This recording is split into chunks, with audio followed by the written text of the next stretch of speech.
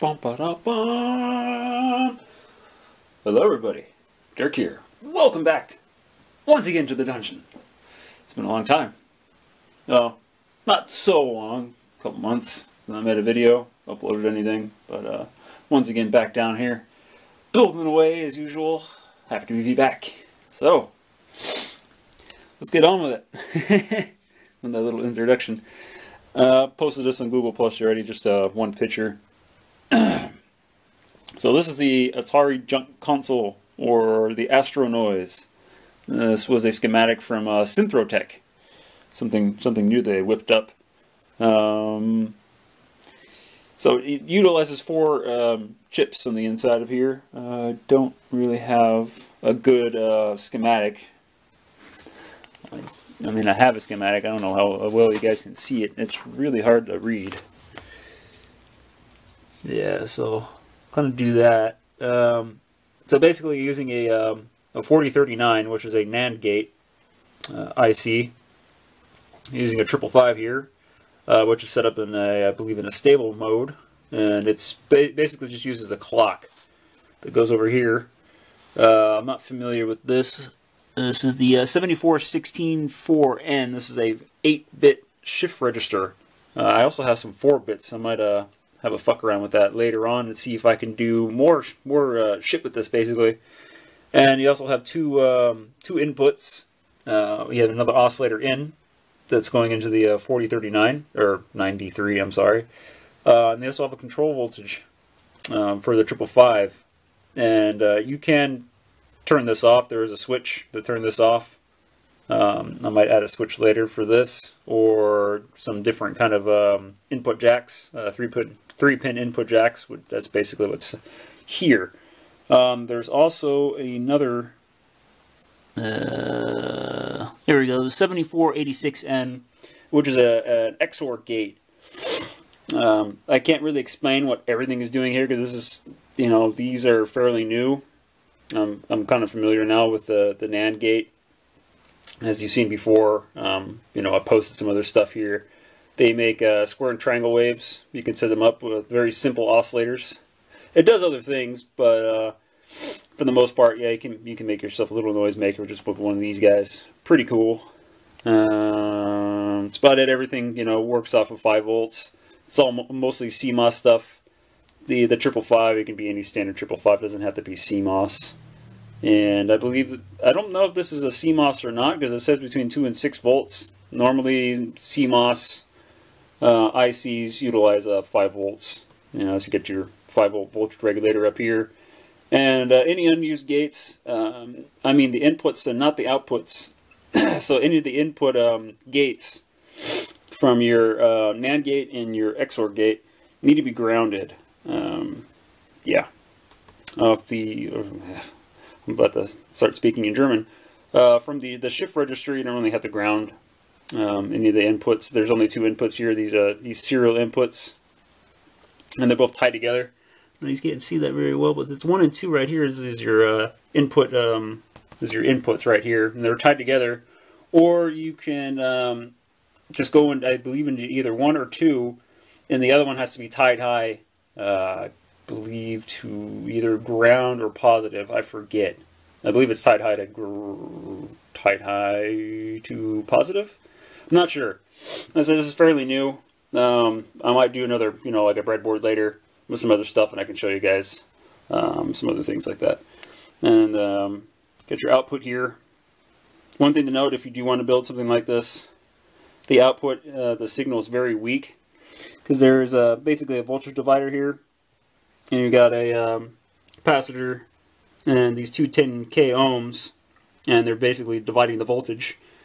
Um, I mentioned that the Sparky, and he basically said because there's a, there's a mono output right here, uh, three pin, and uh, they're trying to um, uh, match up. I think the the impedance, if I'm not mistaken.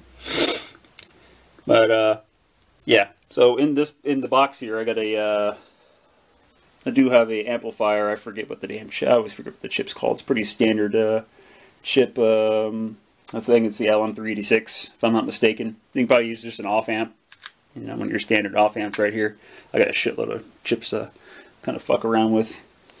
Um, that's about it. So you got the four, the four chips. You got your amplifier, and then there's a separate triple five set up as a flasher for these four UV LEDs here. If I turn this off here, yeah, it's a bit bright. As you can see, that I have to flip that up so it shines inside the box because I have all these little uh, symbols here. Uh, I can't really switch it off, but you guys can kind of. Oh, there you go. Look my little Pac-Man icons there. The two ghosts and the the very um, scary looking Pac-Man there. That's why he's looking a bit worried. And that one's like, that guy's like, fuck that, I'm out of here. yeah, pretty pretty fun. Uh, the, only, the only gripe I really have is the uh, the input voltage right here because there's a I got a transformer inside there and just the 5 volt regulator to uh, power everything basically. Uh, I didn't really have to do that, but I don't really have any barrel jacks. So I just I said fuck it, I'll just stick the transformer in there. Plenty of space. I'm gonna clean up all the wiring here. Still gotta uh, put in the, the two input jacks for an oscillator and the control voltage, and maybe a couple other switches. I'm not sure. I still got a bit of space up here. I'm trying to leave this blank. And then uh, I just added this yesterday. Uh, basically a, a two-way switch here, so you can just do push button action, or you can leave it on constant. So yeah, that's about it. Standard output jack. Nothing, nothing, uh, nothing fancy. Should we have a have a go? Uh, I think, let's see here. Right, I'm just going to turn this on constant because I'm doing this one-handed.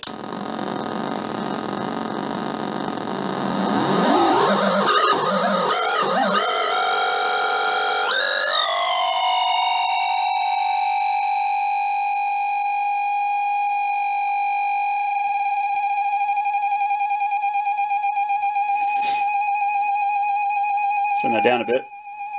Sorry about that. Uh, basically, these these two are from the 4039, the the NAND gate, and this is a triple five. Uh, you can you can alter the clock speed.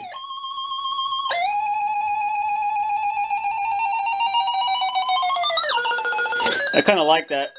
It's a bit of a LFO style right there, where you can kind of hear that where it goes.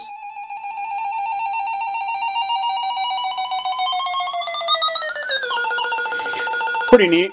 Uh, this toggle switch here uh, is going between a. Um, sorry, I don't want to talk so loud. Um, there's a toggle switch. If I can show you, it's right here, and let's go. You can either uh, switch it to ground, uh, the full 5 voltage, or a 5 volts uh, running through a 1K, which runs through that uh, that XOR um, gate into the shift register, and it gives you different tones, obviously. So um, turn that up. So that's one tone. Here's the actual Atari like sound a little bit more.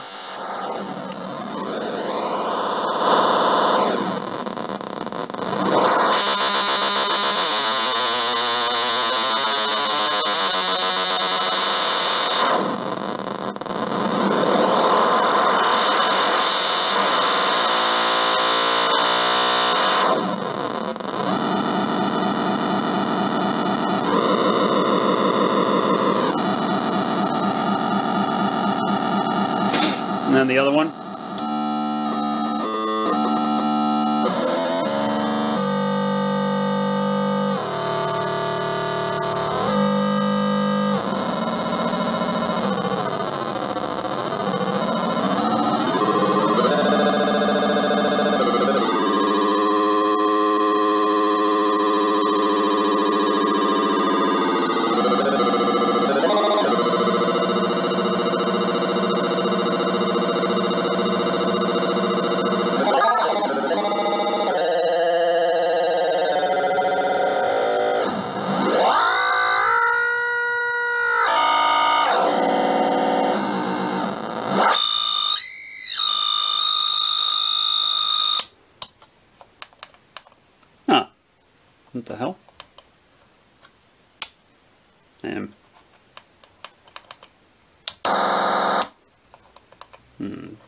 Some reason the...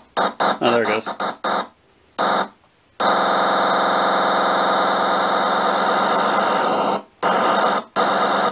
Oh yeah, you get the gist of it. Pretty cool. I'm building another uh, PT 2399 uh, reverb and echo module, and I'll be doing some modifications to this little bastard and sticking it, sticking it into that box over there, which has the um, having uh, what is it, an eight-step sequencer. I'm gonna start working on that box, and basically any FX is gonna go in there. Maybe a couple other things. Um, yeah, that's a project. I got another project with the keyboard over here I'm not going to talk too much about it, but let's just say it's going to be playing all the different waveforms. And that the original circuit board is going to get taken out. Um, I'm going to be utilizing all the keys and putting a, a, header pin, a strip of header pins in there. So if I do want to use the original uh, circuit board, I can plug it back in there. But uh, yeah, I'm going to be trying to play all the different waveforms on this. That might be cool. Another circuit board to modify here. It's a lot cooler than this one. And I might even get a, a vintage uh, Casio or, or Yamaha keyboard and have some fun with that. You guys seen all the shit that I have here? I've been using a lot of that. And uh, eventually I will get back to this. Rebuilding that because now I have all the uh, the cutting boards that I need. The material um, is pretty good um, from cutting boards, the white cutting boards. They're kind of down there if you can see that. And uh, double MOT power supply. I just got to get the uh, the capacitors uh, to make the uh, the LC circuit. But yeah, it's just you know I got, got, a lot of stuff going on, a lot of shit on the mind, plus you know school and work and all that shit. So figured figured to give you guys an update and show you this this thing. I'm I'm pretty happy with this. You know. Uh, one thing to note: highlighter ink does not dry on uh, acrylic, so if you want to use highlighter, uh, I would get like maybe like a like a clear coat um, spray, like a lacquer, and put it over that. If you wanted to use highlighters, yeah. The only reason I use highlighters is because uh, I wanted to light up with the UV lights, as I have a bunch still from uh, from good old Steve. Yeah. All right, this is long enough, over 12 minutes. So, thanks for stopping by, guys, and cheers.